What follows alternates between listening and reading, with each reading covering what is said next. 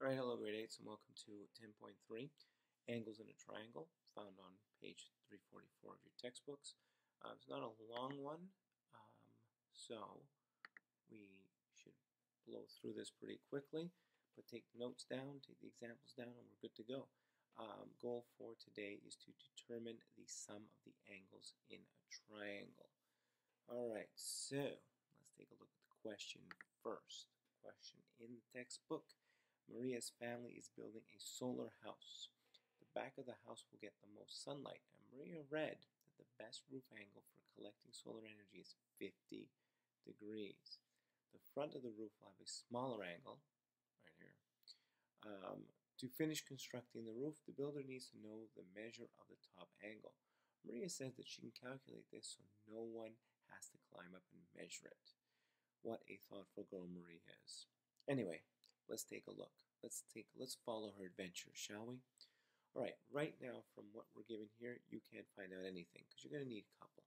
You need two angles here. All right, and that will be giving you later on. But just to understand the concept of the angles in a triangle, we take this example from the textbook. Now, let's take a look at this. If we were to take the top angle, the other angle, so essentially all the angles flip it over here, move this one to the edge here. What do we have here? I'm going to tell you what we have here. Right here. What kind of angle is that? That's right. It's a straight angle. And what does that measure? 180 degrees. So what a clever way of showing that each angle in the interior of a triangle, remember that, the interior of a triangle. Write that somewhere. Interior. Right. Do that. Write it. Write it down. So all the angles in the interior of a triangle adds up to 180 degrees. So all this together, that angle, that angle, and that angle is 180 degrees. So now that we know that, let's try to solve this problem. Now we're going to be given another angle, so we're going to know what the remaining angle is. So, the answer, if the peak at the front of the house measures 35 degrees, we're already given 50.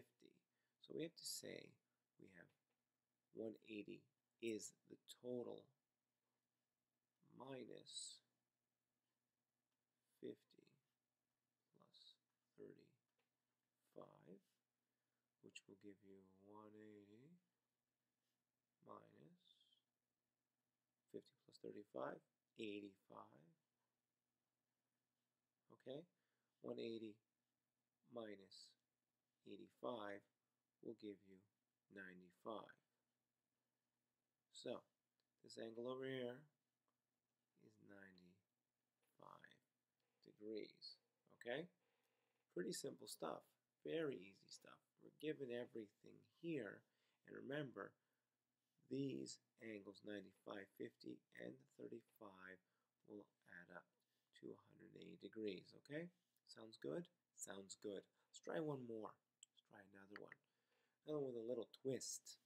So, what are the measures of angle A and B? So, angle A equals, now again, straight angle. Here's a straight angle. So, you're given this, 130. Here's a supplemental angle.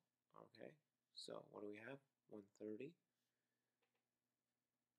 minus, take it from 130. So angle A equals 50. Okay, so now we have two angles, 50 and 75. Okay, that's one. All right, angle B equals 180 minus 50 plus 75. Alright, equals 180 minus, what is 50 and 75? 125. So, 180 minus 125, anybody? What do you got? That's right. 55. Okay, so angle B is 55. Alright, and if we were to measure all these angles, if we were to say 180, say 75 plus 50 plus 55, we will have all together, 150, 75, will come out to 180. And that's how you check it. Alright? Everybody's good to go? Alright? Copy these examples down. Go back and review if you need to. Copy all the, all the um, examples and the definitions. You're good to go. Alright? So that's all for now. Relatively short one today. So we're all good. Alright, see you in class. Thanks.